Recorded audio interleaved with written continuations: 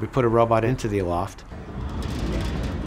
We spent a lot of time tuning the interactions all the way through.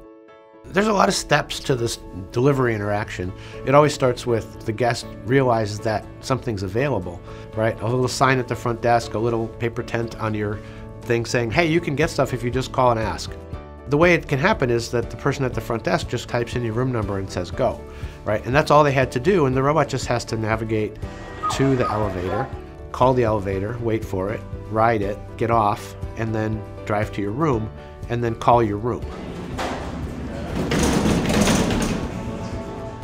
So your experience in the room is I called and asked for something. Five minutes later, my phone rings, and there's an automated voice that says, Your delivery's here, with the robot beeping noises, of course. Your delivery's here, go get it. And you hang up, and then you walk uh, to your door, and there's like nothing you can do wrong. This is one of the other things. We designed this interaction so that it's fail proof, right? You're in the room, the only thing that can happen is you didn't answer the phone right? Uh, because if you answer the phone and you get the delivery, th there's only one thing for you to do, which is to go to your door.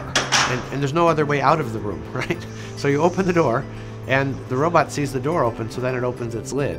Um, and you know in a very subtle way that the robot was keeping it, whatever it was carrying for you, in a locked compartment because you saw it open, right? Which is important if you're getting food, right? So then you would, it says, please take your delivery, you take your delivery, um, and then you have a little interaction with it because people want more robot time. That's your robot time, right? And then when you're done interacting, you say go, and then it, it toddles off down to the elevator, um, and you have your stuff.